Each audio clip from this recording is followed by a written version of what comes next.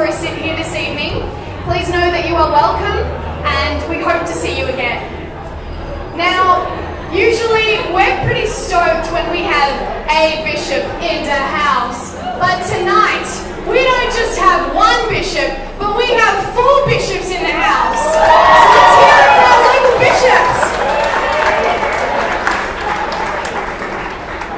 Now, all the way from Canada, and most recently coming from visits and meetings with the Holy Father, Pope Francis in Rome, we have with us tonight Cardinal Ouellet, everyone!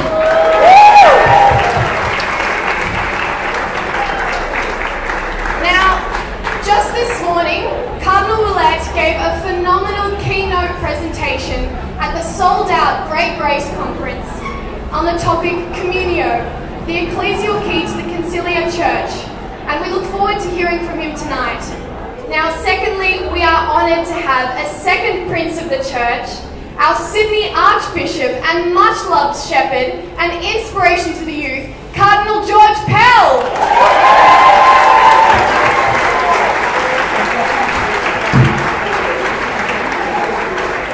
Now, we have been honoured to have His Eminence address us at Theology on Tap several times in the past, and he was one of the first key speakers at our first year of TOT in 2007 in a pub in Drummoyne. However, it is so fitting that his first time at TOT in our new venue also falls on a day that is very special to His Eminence. On this very day, 26 years ago, His Eminence was ordained an auxiliary bishop of the Archdiocese of Melbourne. So let's give His Eminence a big hearty congratulations for his 26th anniversary. And, as the Italians say, Viva il Cardinal Pello! Viva! Now, unfortunately, um, Parramatta's very own Bishop Anthony Fisher could not be here with us tonight. However, we wish to welcome the very Reverend Father Peter Williams, who is representing our local shepherds. So please make Father Peter feel welcome. Please also welcome Archbishop Paul Gallagher from Liverpool, who is the new Apostolic Nuncio. Let's hear it for him. And another person rolling in, we have, uh, we are deeply grateful, for, especially for the friendship, support, and presence of Bishop Peter Comensoli, thanks to his invitation to involve Theology on Tap in the Great Grace Conference. It's thanks to him that we are able to be here tonight and have Cardinal Ouellet with us. So let's hear it for Bishop um, Peter Comensoli.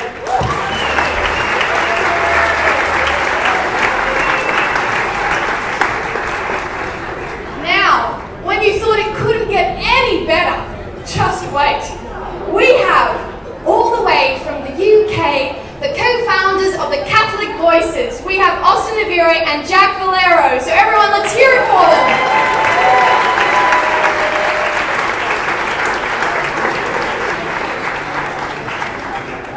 Now, um, I would like to invite you all to please stand with me as we begin every tot with the opening prayer.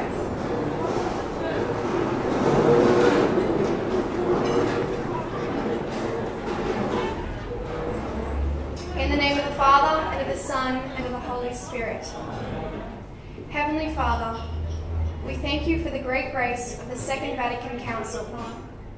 We know that your Holy Spirit guides it and entrusts its fruit to our church and stands as a sure compass till this day. May we respond to the universal call to holiness and sanctity, which it reminded of us, fulfilling the personal vocation that we all have. May our work and lives, in the words of Gaudium et Spes, one of the most important documents of the Vatican Council II, formed the raw material of the kingdom of God. All of this entrusted to the care of Our Lady, and so we pray to her, especially in the month of May. Hail Mary.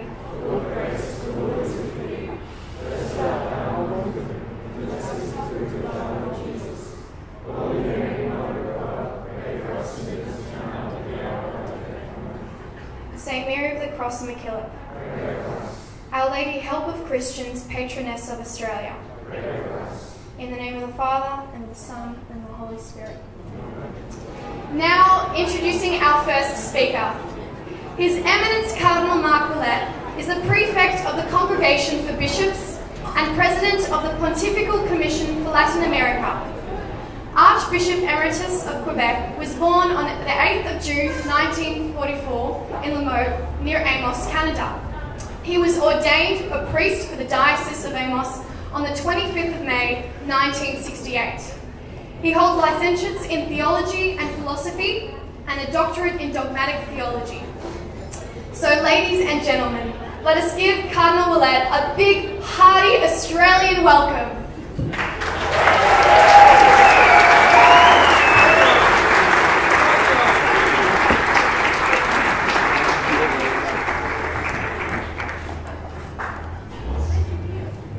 Good evening, everyone. So, I confess that's probably the first time I speak to such an audience. I am very pleased and uh, I am uh, very grateful to Cardinal Pell for his invitation. Five years ago, I could not come to the World Youth Day uh, because in Quebec City we were we had organized uh, some weeks before an international Eucharistic Congress. So I was overly busy with uh, this great endeavor. But it is uh, for, for, me a great joy today to join you and to know and that this initiative, this is uh, a fruit of the World Youth Day. So from the beginning, I want to, to greet you also on behalf of Pope Francis, whom I saw on Friday evening, and uh, who sent his greetings to you and his blessing uh, in the, at the beginning of his pontificate and to sustain uh, this great grace conference. Uh, I tell you that uh, after a couple of months of his pontificate, we uh, cardinals are quite happy for uh, the inspiration of the Holy Spirit uh, that uh, gave us uh, this extraordinary uh, new Pope.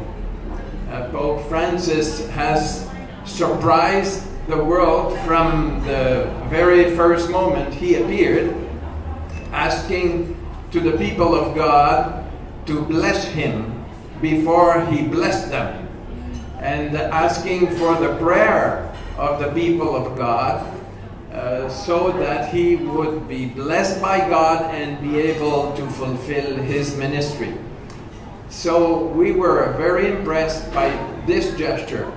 The following day in the morning, as you know, he went to St. Mary Major, the shrine to Our Lady in Rome, very old shrine, and to entrust his ministry to our mother, the mother of God, the mother of the church.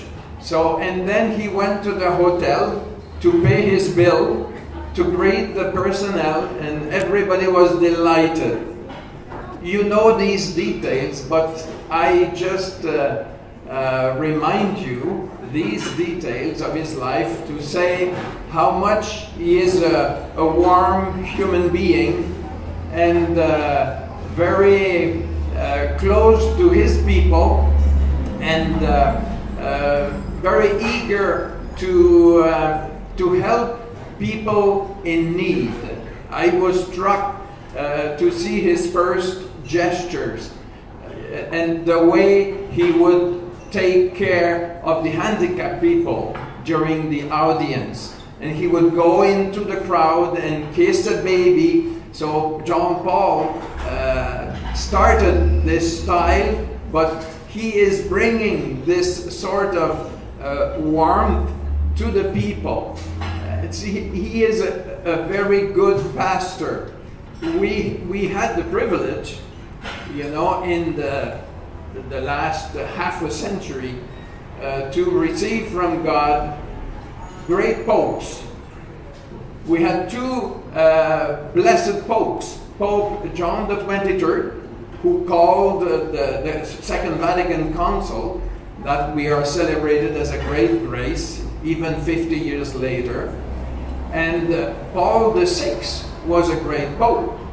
He had to implement, to, fi- to finalize the council and implement it in a time of great turmoil. And John Paul II was a great evangelizer. He, he, he traveled the whole world to bring the light of the gospel to every corner of the earth. So it was his charism. And Pope Benedict was an extraordinary doctor. I call him a doctor of the church. He was a great professor as a theologian, but as a pope, he has developed further uh, and he has refocused the, the attention of the church on God is love. God is love. That was his first encyclical, and it was also uh, in his teaching on the church. And, and now we have a pastor, a typical pastor, uh, very close to his people. And uh, I was struck the first Sunday, uh, it was four days after his election. He went to the small parish inside the Vatican to say Mass as any parish priest. And at the end, he stayed at the door, shaking hands and greeting people, greeting people. So it was it was a surprise to everybody, and he continued to do the same. For the Holy Thursday, he went to the jail for for youth in Rome and uh, so he celebrated the Holy Thursday with them. Uh, uh, he washed their feet and kissed uh, their feet.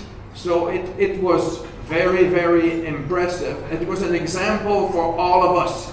So in, when I look at him, I, I feel called to conversion myself. And, and when I, I listen to him, when he preached at this small parish, he said, God is very merciful. He is never tired to forgive. But we, we sometimes, we are tired to ask forgiveness. Uh, I tell you, I was very surprised a moment ago when I heard that here you had confession. So, uh, in my country, you know, confession are not very much practiced. Uh, too bad. But uh, it is a great blessing and after the preaching of, of Pope uh, Francis, we have noted in Italy and in many other countries an increase in confession, a, a 20% increase in confession. It is a, a great surprise. It is a sign of conversion, of renewal. And uh, so it is a, a, time for every one of us to, uh, to start again uh, to uh, maybe to do some more uh, step for personal conversion or for personal answer to our call to holiness. The call to holiness is for everybody. It's for the youth, it's for cardinals and bishops and priests and religious and lay people. We are all called to holiness, to follow Jesus Christ, our Lord, uh, to belong to Him and to belong to His church, to be proud of being part of a community and to be faithful to this community. So, to finish, uh, dear young people, I will just give you an example uh, which I received uh, some weeks ago.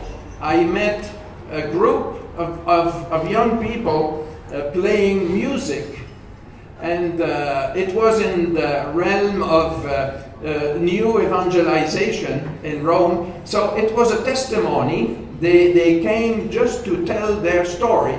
So they were a very successful group of musicians doing exactly um, shows in uh, a house like this or elsewhere. And they were very successful, you know, selling also uh, CDs and uh, but at one point, after 10 years of success, they get bored. And they were not happy. They had money, they had fun, they had everything, but they, were, they, they had no money. They, they, had, they were not happy. At one point, the leader of the group, which was composing music and, and, and song, so he went back to his home to rest, and his mother said, But why don't you go to, to the Bible circle just for one night? There is a good atmosphere there. So uh, he, was, he was not practicing his faith. He decided to go. He was very welcomed by a very nice lady, so he, he said it, it does help and uh, and then uh, he get into the, the atmosphere and he was very welcome and he said there I, I felt joy in the midst of this group I felt joy. I had not experienced for many many times so a real joy. So he started uh, a, a path of conversion of return to his faith and uh, he, they stopped uh, singing for a year and he uh, he dragged his companions uh, in the same path and they all converted and and then after a while they started again to do music and he continued to to compose a, uh, a song but with a different content speaking, witnessing about Jesus, about the risen Lord, and uh, speaking of the Son. That's the name of their group, the Son. So, and the real Son is Jesus Christ. So, uh, I tell you, uh, I met these uh, young uh, people and uh, I was impressed. I think it is always the time for each of us to start again. We have a new Pope. We have a great shepherd. Uh, we are encouraged to uh, mercy, to, to uh, also to rely on God's merciful love. So we are happy to belong to the Catholic Church. I thank you for your attention.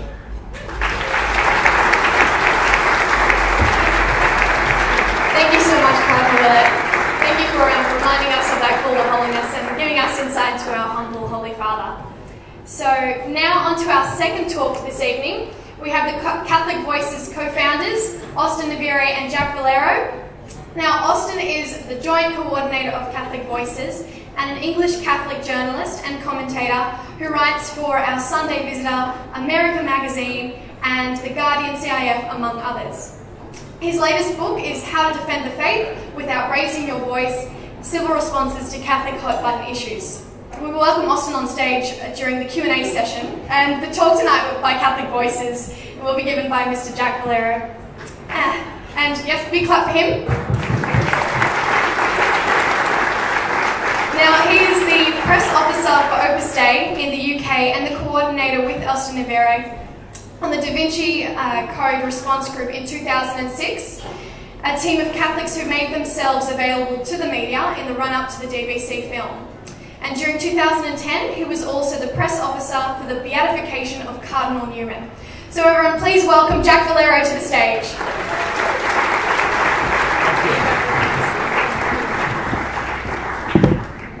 Just a minute. I think this is amazing. I've never been to Australia. I've never spoken in a pub. And I've never spoken between one cardinal and another. So that's a really special day for me. I have to go home and say I spoke between two cardinals. who, who can better that? But anyway, in 2010, when the Pope was coming to the UK, Austen and I um, were thought that we would train a few people to speak on television and radio, to use the opportunity that would arise from the trip um, and all the controversies that would arise. And we wanted to choose some ordinary Catholics, and we trained them and uh, over a few months, we went through the course. And when the Pope came, we were in 100 programs. And you remember that the Pope's trip to the UK was a huge media success, um, among other things, uh, through the work we did and, and, many other things that happened. So much so that the bishops in the UK asked us to continue the project, continue training people, ordinary Catholics, to make them confident in communication and we have been continuing to do that in the last three years. And groups have actually sprung up in different countries. And last week we were training a group in Australia, which was the 10th country where Catholic Voices has taken root. Through ordinary Catholics like yourselves here, who have taken to heart the idea that if you are able to, if you're good at communication, maybe that's your vocation to, as a lay person, to communicate the control, you know, the things where the church appears in the media. And one of the things we say is that we, we, we, we help people not to be afraid of the media by uh, understanding how the media works. Once you understand how things work, you're no longer afraid. So it's important not to be afraid because we understand the media's role to ask questions and hold people and institutions to account, including the church. You know, when politicians steal your money, maybe this doesn't happen in Australia, but in other places, politicians steal your money, you want to know what has happened, who has done what. And the media does that for us on our behalf. And that is also, questions can be asked of the church too. And when questions are asked of us, then we are happy because they are asked on our behalf too. So we lose that fear of speaking. We feel positive about it. Of course, there are hostile people in the, in the, in the media, host, people who are hostile to the church, in the same way as there are hostile people hostile to the church in the in, in government, in the universities, in our own families. In all the dealings I've had with journalists, I haven't met one as hostile as my own sister. So I, I, I think the media is pretty positive, really. Um, then um, another thing we did was um, to help people to avoid the three dangers that are common when we talk about religion in public in the media or even among friends. The first danger is to be angry. And maybe when things are offensive, when things are said about us or about our religion which are offensive, we get angry. But here's the thing that when you're angry, you don't communicate anything, nobody's listening. And sometimes we get angry. So that's the first thing we try to avoid in people. If, if the media is not against us, then we don't need to be angry. Those, those are things that are said and we can just take them and answer nicely. The second danger is to be defensive. You know, if you feel that you are being attacked, then you, you, you may feel that you need to defend yourself. I always say that if we have a great message, we don't need to defend anything. We just explain it. We just tell our story. We tell it so compellingly that people at the end say, I want that. That's what you need to do. You know, you need to tell your story compellingly. We don't need to defend anything. And we have a great story. We need to, to know it and then to tell it very well.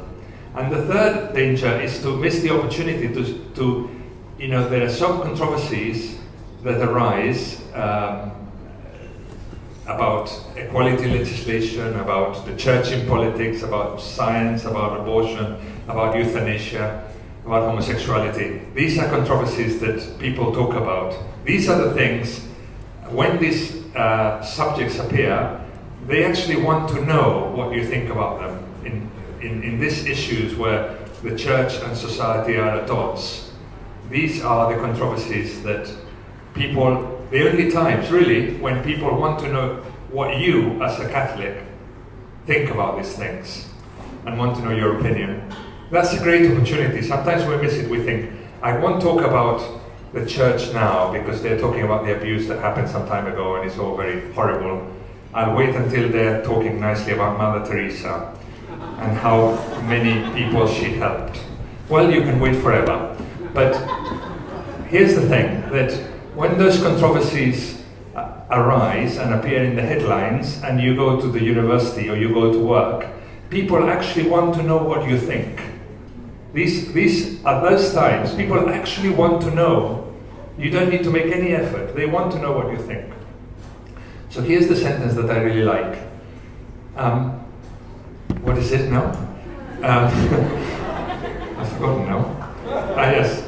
Um, it's not a question of surviving the storm, but of dancing in the rain. So when it rains, instead of, of saying, I will survive, you know, like Dorian Hainford, I will survive. No. I give thanks to God for this controversy because this is my great opportunity to speak. I give thanks. I go on my knees and give thanks to God for the controversy, so that I can speak. And um, having having uh, avoided these three dangers, then here's the most important thing about the way we communicate in Catholic Voices was this project that we did with Austen. And I'm the lucky one that I'm standing here. You know, we had a toss and then I won, so he's sitting there and I'm speaking. I love speaking, but I was told to speak only for 10 minutes, so I'll, I'll finish very soon. And um, here's the most important thing I'm going to say, which is that when the church is criticized in any area, behind the criticism there is a value, and this value is a Christian value. So when they, when they, when they say the church should sell all its riches in the Vatican and give it to the poor, they're appealing to a value of solidarity and justice and charity, which are values that not only we agree with, but actually we promote. They come from us. You know, when they say that uh, the church is killing people because it doesn't allow them to use condoms to save themselves from AIDS, they're appealing to the value of life. And guess which is the most pro-life organization in the world? So there's behind these criticisms, there's always a positive value. So here's the thing about communication. What you have to do is listen carefully to the criticism, find out what value it appeals to, realize this is a Christian value that you share and you promote, and start speaking from there, from the common point. And you realize that all these cultures we live in, in Australia and everywhere else, are Christian cultures at heart. That we have those values that we share, and that those values are the ones that are being thrown back at us when we're criticized. And this works in every case. And we, we, when we understand that we actually share this, we have no longer any fear. We have no fear of the media, we have no fear of criticism, because everything is just like a shout. I want to know, I want to know about this, I want to know what you think. So cry for help. This is what we call the positive intention. When you find the positive intention behind the criticism, you can communicate. People actually want to know what you think. When you talk from there, they realize you're on their side. Or rather, there are no sides here, but if there are any sides, him and I are on the same side. And that's really um, a key, a, a secret for effective communication. So we have this dream. We, we have many other things that we do in our project. And uh, as I say, it's grown through the UK. We have many people trained in the UK. It's grown through 10 countries around the world, uh, Europe, in America, North America, South America, now Australia. But we have this dream that this will wake up, you know, this will be a mechanism to wake up the lay people, wake up all of you and many other people around the world so that there are hundreds of thousands of lay people who, when they realize they're good at communication, at communicating, they will think this is my vocation and they will wake up and then we will be switching on televisions all around the world and we will seeing all these smiling young Catholics saying these wonderful things and explaining things, communicating, understanding the criticism, co connecting with the positive intention of all the people who now criticize us. And this and the church will change.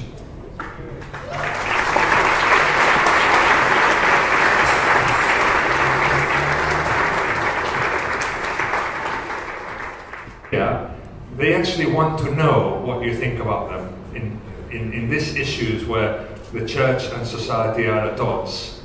These are the controversies that people, the only times really when people want to know what you as a Catholic think about these things and want to know your opinion. That's a great opportunity. Sometimes we miss it. We think, I won't talk about the church now because they're talking about the abuse that happened some time ago and it's all very horrible. I'll wait until they're talking nicely about Mother Teresa and how many people she helped. Well, you can wait forever. But here's the thing that when those controversies arise and appear in the headlines, and you go to the university or you go to work, people actually want to know what you think. These, these at those times, people actually want to know. You don't need to make any effort. They want to know what you think. So here's the sentence that I really like. Um, what is it now? Um, I've forgotten now. Ah, yes. Um, it's not a question of surviving the storm, but of dancing in the rain. So when it rains, instead of, of saying, I will survive, you know, like Dorian Hainford, I will survive. No. I give thanks to God for this controversy, because this is my great opportunity to speak. I give thanks, I go on my knees and give thanks to God for the controversy so that I can speak. And um, having, having uh, avoided these three dangers, then here's the most important thing about the way we communicate in Catholic Voices, was this project that we did with Austen. And I'm the lucky one that I'm standing here, you know, we had a toss and then I won, so he's sitting there and I'm speaking. I love speaking. But I was told to speak only for 10 minutes, so I'll, I'll finish very soon. And um, here's the most important thing I'm going to say, which is that when the church is criticized in any area, behind the criticism there is a value, and this value is a Christian value.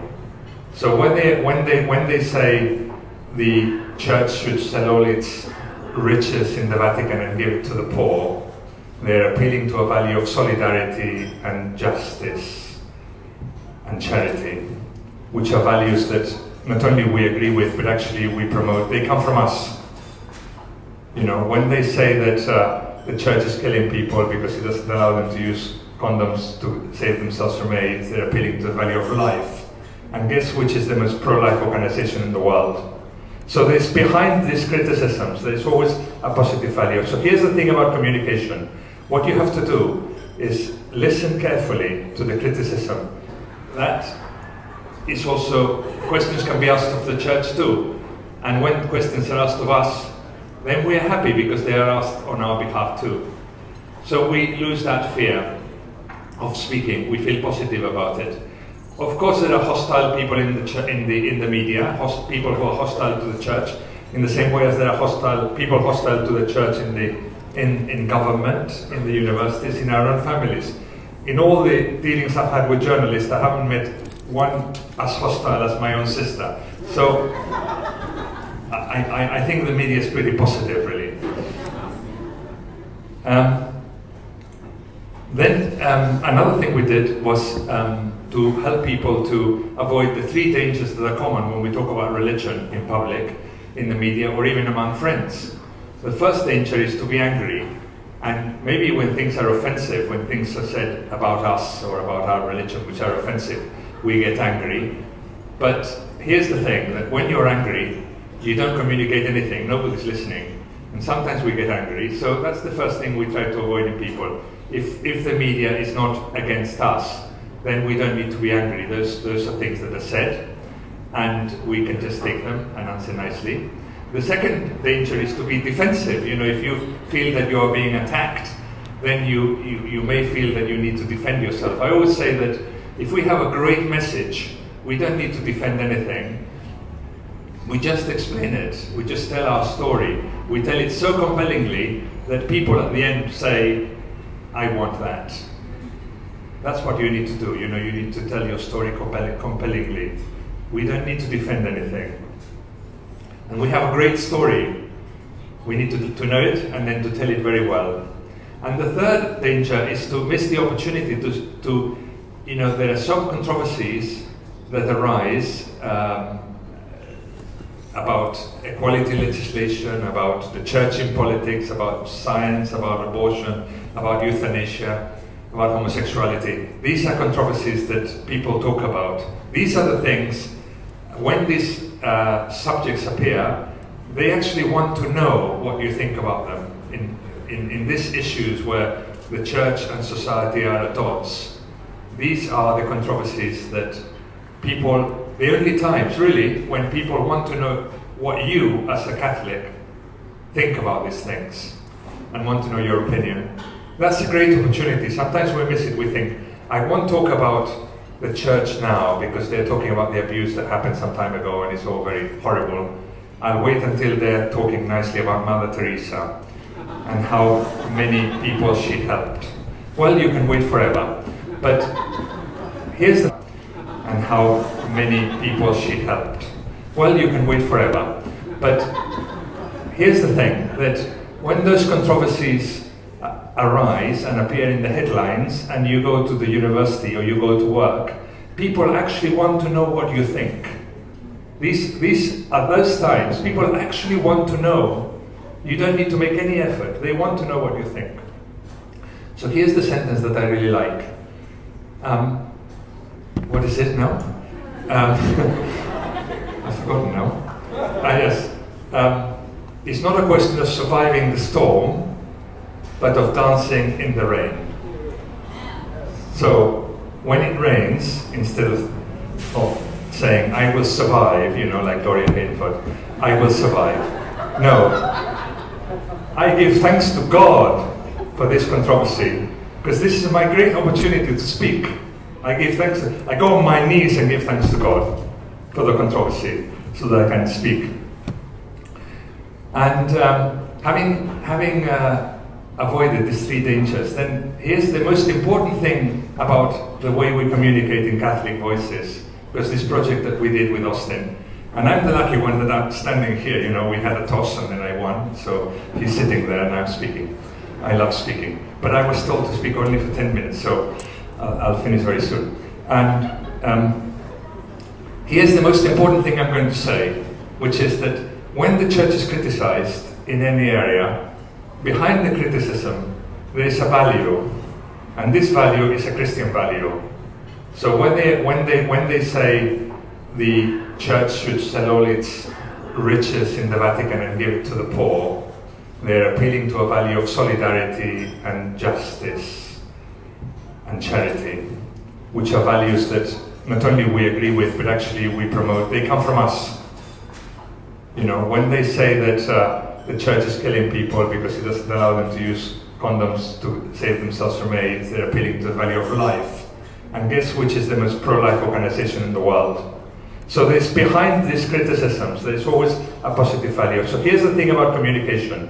What you have to do is listen carefully to the criticism, find out what value it appeals to, realize this is a Christian value that you share and you promote, and start speaking from there, from the common point.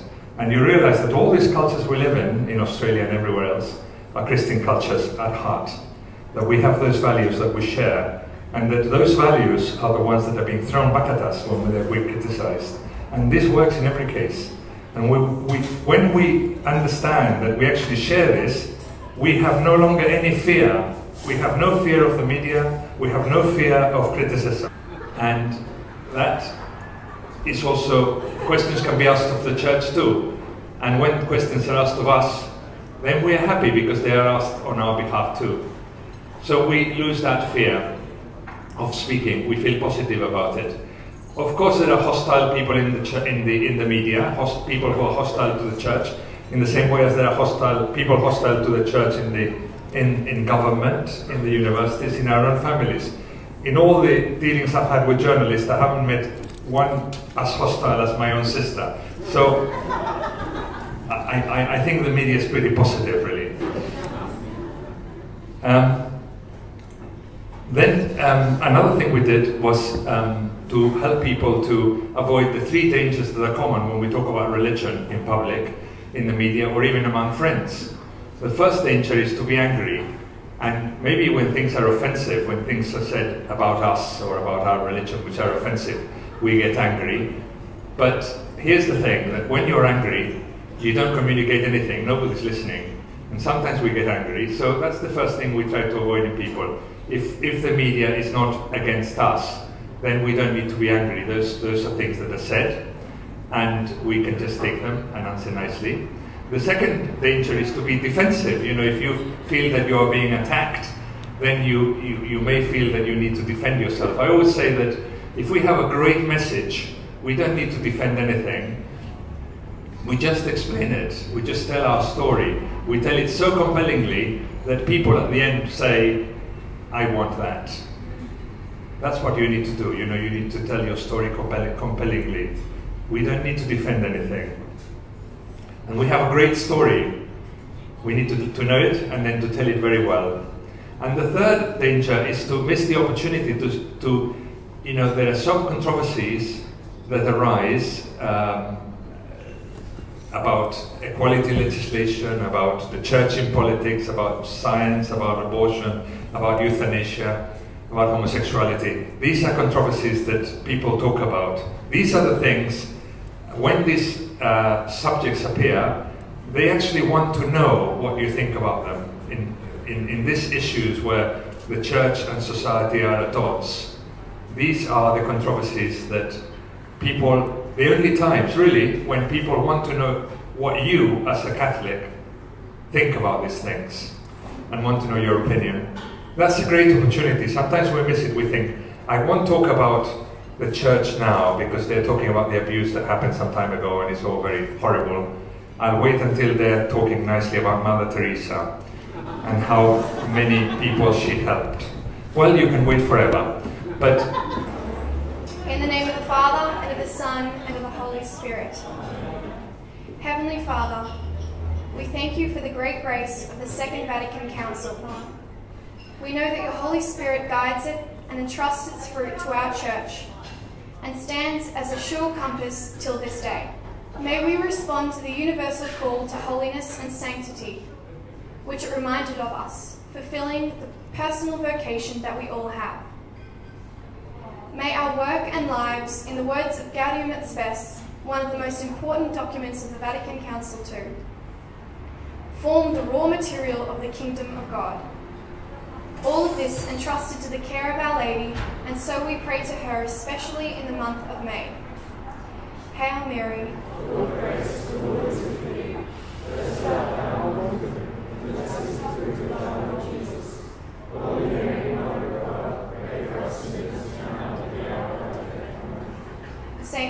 Cross and MacKillop.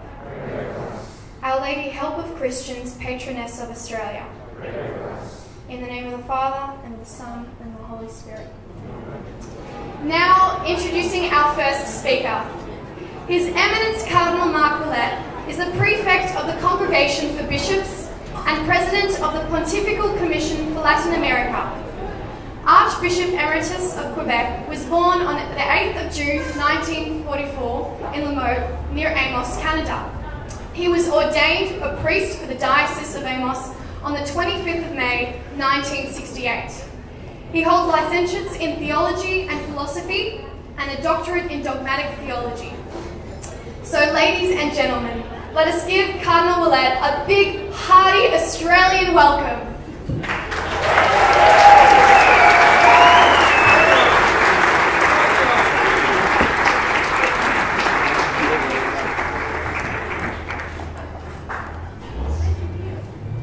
Good evening, everyone. So, I confess that's probably the first time I speak to such an audience. I am very pleased and uh, I am uh, very grateful to Cardinal Pell for his invitation.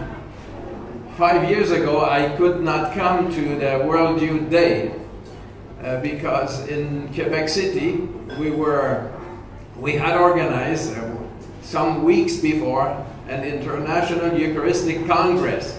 So I was overly busy with uh, this great endeavor.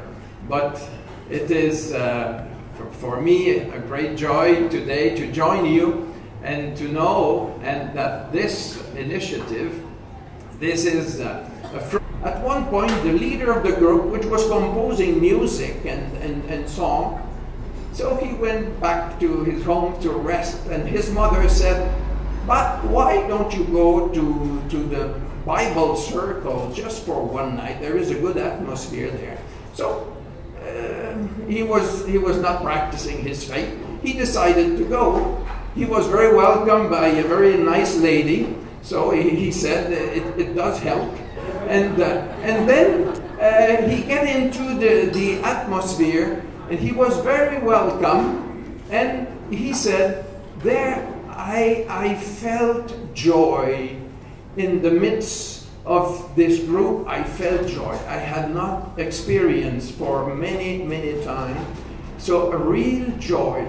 So, he started uh, a, a, path of conversion, of return to his faith. And uh, he, they stopped uh, singing for a year. And he, uh, he dragged his companions uh, in the same path, and they all converted. And And then after a while, they started again to do music, and he continued to, to compose a, uh, a song, but with a different content, speaking, witnessing about Jesus, about the risen Lord, and uh, speaking of the Son. That's the name of their group, the Son. So, and the real Son is Jesus Christ. So uh, I tell you, uh, I met these uh, young uh, people and uh, I was impressed. I think it is always the time for each of us to start again. We have a new Pope, we have a great shepherd, we are encouraged to mercy, to, to also to rely on God's merciful love. So we are happy to belong to the Catholic Church. I thank you for your attention.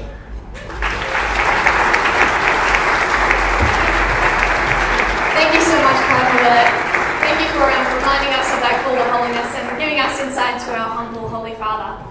So now on to our second talk this evening. We have the Catholic Voices co-founders, Austen Ivereigh and Jack Valero. Now, Austen is the joint coordinator of Catholic Voices and an English Catholic journalist and commentator who writes for our Sunday Visitor, America Magazine, and The Guardian CIF, among others. His latest book is How to Defend the Faith Without Raising Your Voice Civil Responses to Catholic Hot Button Issues. We will welcome Austen on stage uh, during the Q&A session, and the talk tonight by Catholic Voices will be given by Mr. Jack Valero. Uh, and yes, big... Uh, for, for me, a great joy today to join you and to know and that this initiative, this is uh, a fruit of the World Youth Day. So from the beginning, I want to, to greet you also on behalf of Pope Francis, uh, whom I saw on Friday evening, and uh, who sent his greetings to you and his blessing uh, in the, at the beginning of his pontificate and to sustain uh, this great grace conference. Uh, I tell you that uh, after a couple of months of his pontificate, we uh, cardinals are quite happy for uh, the inspiration of the Holy Spirit uh, that uh, gave us this extraordinary new Pope. Pope Francis has surprised the world from the very first moment he appeared asking to the people of God to bless him before he blessed them, and asking for the prayer of the people of God uh, so that he would be blessed by God and be able to fulfill his ministry. So we were very impressed by this gesture.